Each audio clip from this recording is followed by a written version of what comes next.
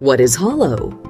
Holo is a peer to peer hosting platform that leverages distributed computing power to host DApps.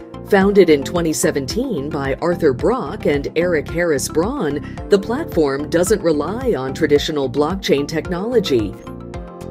Instead, Holo uses a unique hashing algorithm through Holochain, enabling a peer to peer ecosystem without the need for staking or mining. They claim this makes it more efficient and scalable than platforms using blockchain technology. In the Holo network, users can host applications known as hApps using their own computational power and get paid in HOT tokens. These tokens incentivize participation and can be used for hosting payments or later converted to HoloFuel for microtransactions.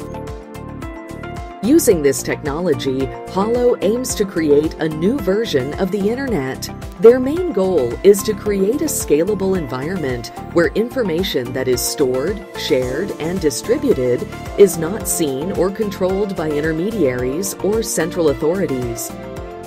Subscribe to Satoshi Club.